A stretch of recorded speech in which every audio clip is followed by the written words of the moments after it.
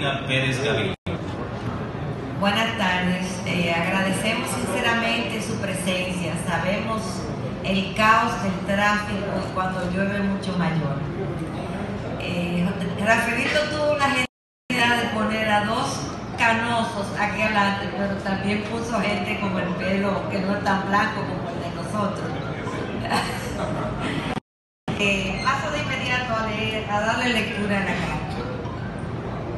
Nosotros, miembros del Comité Central del PLD, del Distrito Nacional y de la provincia de Santo Domingo, algunos con más de 45 años de militancia y parte de su historia, presentamos renuncia formal como miembro de ese, miembros de ese organismo y del partido.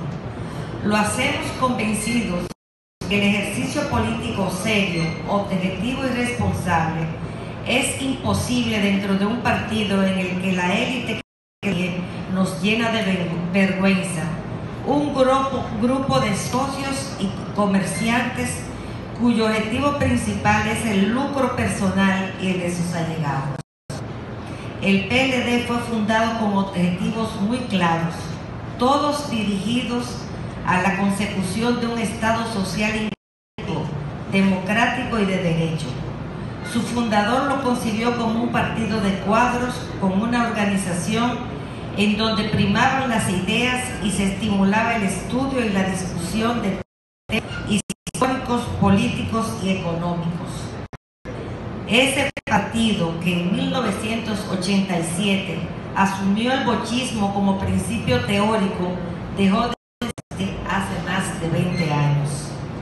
A pesar de los esfuerzos realizados por el presidente Fernández para estimular el debate de las ideas, los peledeístas en sentido general y los miembros del Comité Central en particular pasamos a ser instrumento de una oligarquía partidaria que rechazaba la disensión, evitaba la divergencia, bajo el argumento de que cualquier comentario o desacuerdo violentaba unos métodos de trabajo que habían perdido vigencia y solo eran aclamados cuando esa oligarquía, a esa oligarquía le convenía hacer callar voces que entraban en conflicto con el grupo que controlaba el comité político.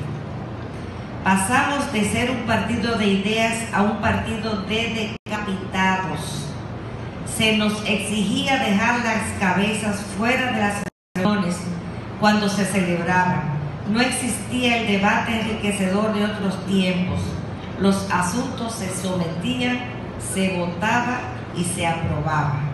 Nos vamos con Leonel Fernández y nos llevamos con nosotros el pensamiento bochista en la seguridad de que en la fuerza del pueblo encontrará el espacio, el respeto, la acogida y la aceptación que se le negó en el PLD. Muchas gracias.